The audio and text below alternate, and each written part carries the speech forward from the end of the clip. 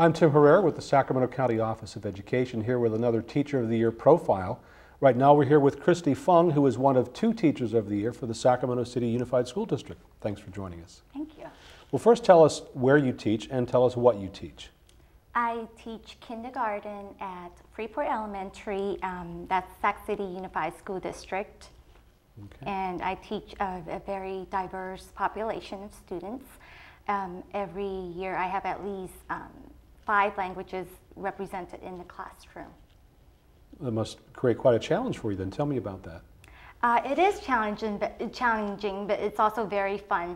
And my thing is, I'm very big on culture, and I love promoting it.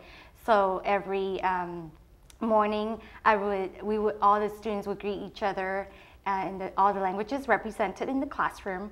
And we also learn how to count uh, from one to ten in all the languages and also um, uh, we say goodbye in different languages. And even when I take attendance, we learn how to say here in all the languages represented as well. So that gives all of the students a, a taste of the cultures of their classmates. Right, and I want them to value each other and respect each other and value where they come from and their roots and their background. So how long have you been a teacher? I've been teaching for uh, 10 years, and all 10 years I've been at Freeport Elementary because I love the um, diverse population and I, I just absolutely love the community there and the families are great. So I've been there the whole entire time.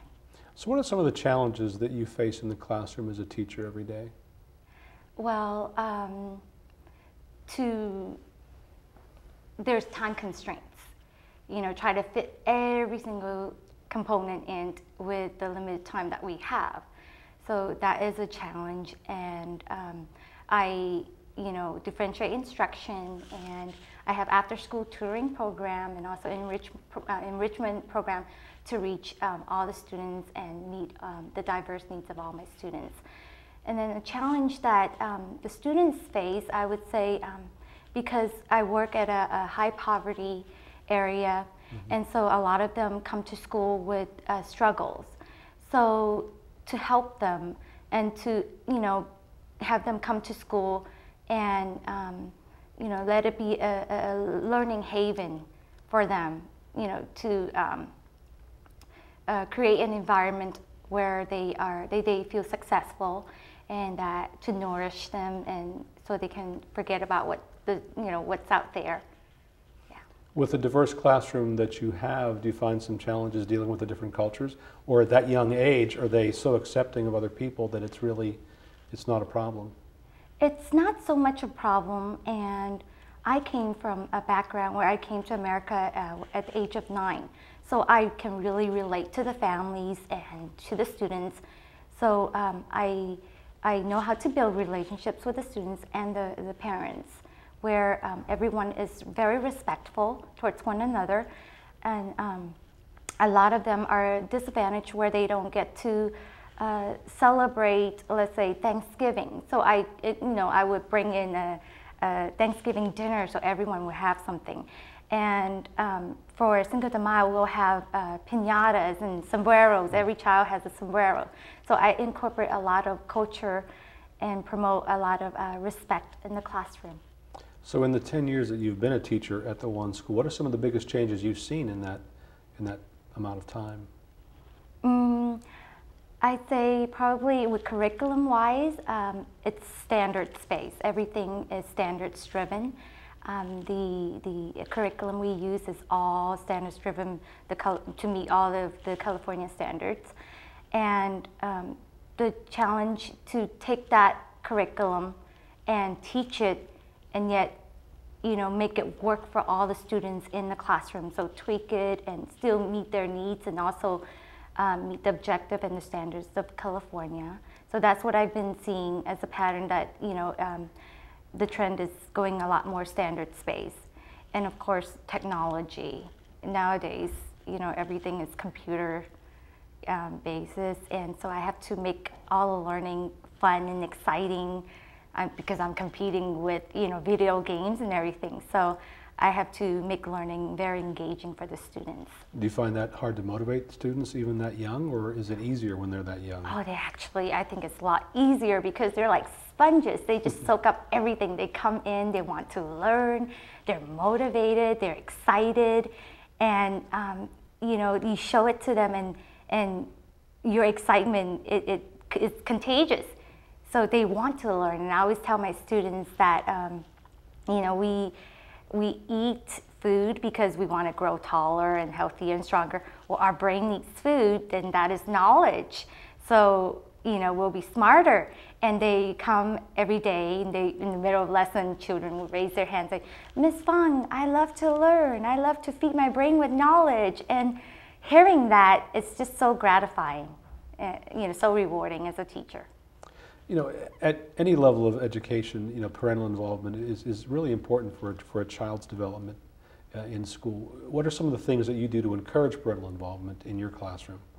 Well, um, it's in the beginning of the year when I get my class list, I call the parents to introduce myself and I talk to the students themselves. I also send postcards to um, the students to just start off on a positive note and to let them know that you know, uh, we are a team and we have the same common goal and our goal is for the child to be successful. And when the parents see that, that you genuinely want to teach their child and genuinely care about their child, they'll be very supportive and encouraging.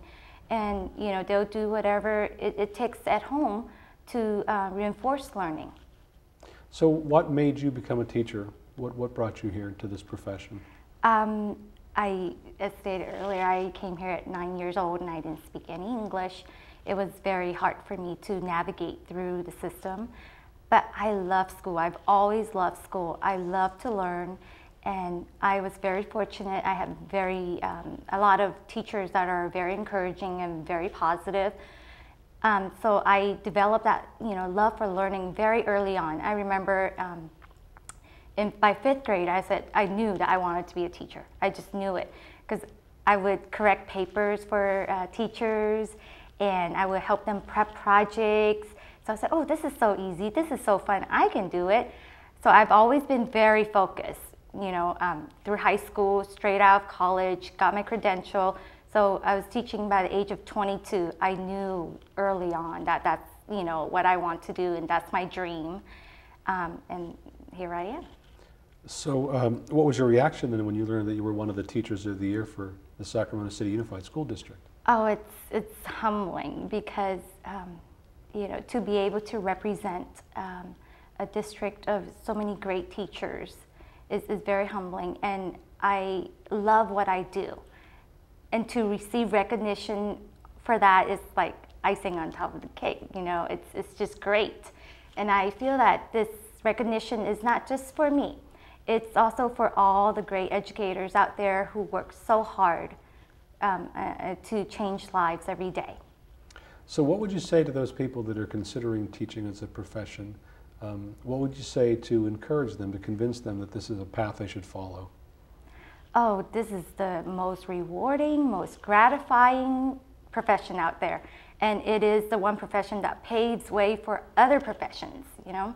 You, so sitting in the classroom, you'll have uh, future lawyers, doctors, uh, police officers, business people, and maybe even the future president. So it's just gratifying to know that you contribute to that, you know, to our society and to our future.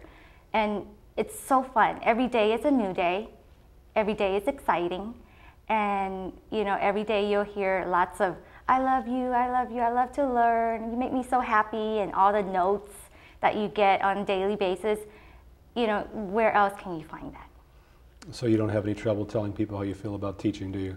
Oh no, I get so excited. I'm normally a very quiet and shy person, but when it comes to talking about my students or my classroom, my eyes just lit up and I get so excited and, and, and yeah, eager to share my experiences. Well, maybe you have some future teachers in your classroom too.